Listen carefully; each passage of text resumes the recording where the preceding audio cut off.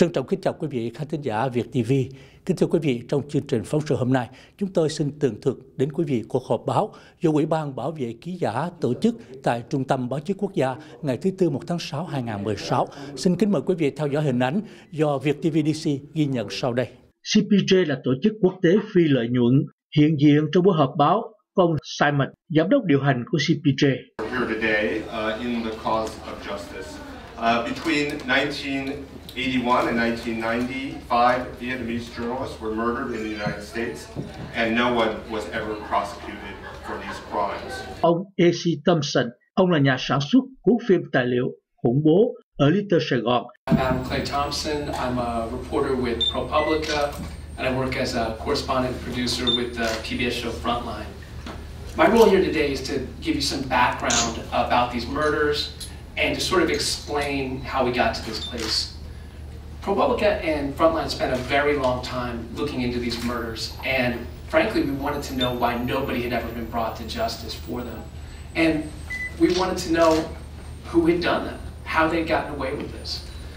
One of the first things that, that I did and my team did is we looked at CPJ's 1994 report, which was up till recently the most thorough accounting of what had happened back in the 80s.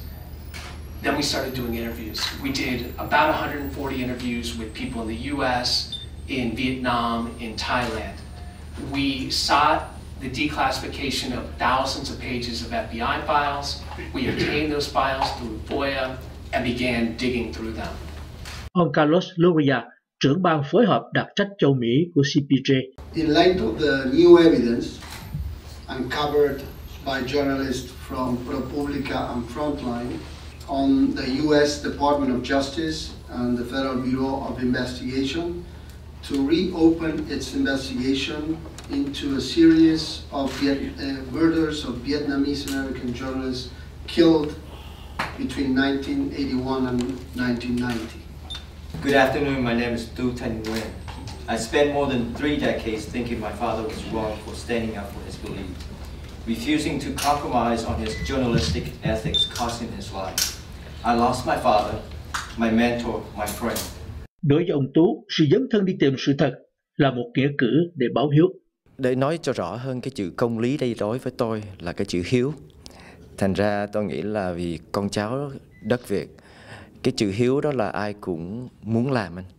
À, tôi chỉ hy vọng, tôi hy vọng thôi, tôi không nói về luật pháp, tôi chỉ hy vọng là tôi đã làm chọn chữ hiếu trước khi tôi mất. Còn à, pháp luật à, thành công hay không thì tôi không có tôi không không, không có ý kiến. Dạ tôi chỉ hy vọng là được thôi, thành công. Buổi họp báo kết thúc lúc 12 giờ 30 phút trưa cùng ngày sau phần góp ý và hỏi đáp giữa ban tổ chức và cử tọa. Quý vị vừa đến với cuộc họp báo kêu gọi công lý cho năm nhà báo Mỹ gốc Việt bị sát hại từ năm 1981 đến 1990 được tổ chức tại Trung tâm Báo chí Quốc gia. Xin cảm ơn quý vị dành thời giờ theo dõi. Cầu chúc quý vị luôn bình an may mắn. Hẹn gặp lại quý vị trong các chương trình tiếp theo. Đài hội Thảo Việt TV tường trình từ thủ đô Washington DC, Hoa Kỳ. Xin trân trọng giới thiệu đài truyền hình Việt ngữ trên hệ thống Uno IPTV chuyên chiếu liên tục những chương trình về tâm linh, bao gồm các tôn giáo, tinh lành, Phật giáo Hòa Hảo, Thiên Chúa giáo, Cao Đài và Phật giáo. Quý vị có thể xem các chương trình này hoàn toàn miễn phí mọi lúc mọi nơi trên iPad, iPhone, Samsung Smart TV và các thiết bị dùng hệ điều hành Android. Hãy download Uno IPTV app và bắt đầu đón nhận những chân lý, những tinh hoa từ những bài giảng của các đạo giáo. Quý vị cũng có thể thưởng thức những chương trình này trên TV nhờ Uno IP Box gắn với lại TV tại bất cứ nơi nào có Internet. Quý vị chỉ cần mua Uno IP Box một lần với giá 99 Mỹ Kim và không phải trả chi phí hàng tháng. Để biết thêm chi tiết, xin quý vị liên lạc với Uno IPTV tại số miễn phí 1844 885 5000 hay vào website unoipbox.com unoipbox.com